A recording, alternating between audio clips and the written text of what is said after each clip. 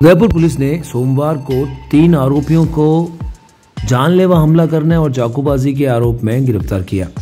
पहला मामला शहर के सूरजपोल थाना क्षेत्र का है, जहाँ पर पुलिस ने अल्ताफ नाम के व्यक्ति को गिरफ़्तार किया है, जो कि दिवानशाह कॉलोनी का बताया जा रहा है। इस घटना में, जो कि 3 मई 2022 को होना सामने आया है, बापू बाज़ार में किसी कुणाल नामक व्यक्ति के साथ छोटी सी बात पर मारपीट करना जिसके अंदर कुणाल और उसके भाई को गंभीर चोटें आई, जिसके बाद सूरजपुर थाने ने मामला दर्ज किया और आरोपियों की तलाश शुरू की।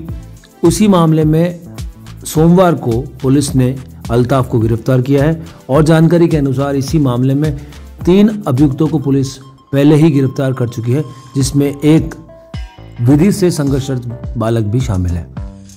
पुलिस ने अल्ताफ को कोर्ट में पेश किया, जहाँ से उसे न्यायिक अभिरक्षा में भेज दिया गया। तो दूसरा मामला अम्बा माता थाने का है, जहाँ पर रोहित नामक व्यक्ति, जो कि बड़गांव का रहने वाला है, कुछ समय पहले उसके साथ मारपीट हुई थी।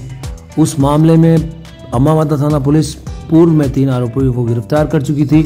इसी मामले में पुलिस ने सोमवार को दो अन्य आरोपियों को, जिनकी पहचान महेंद्र और हेमंत उर्फ़ हेमू उर्फ़ सर्किट के रूप में हुई है।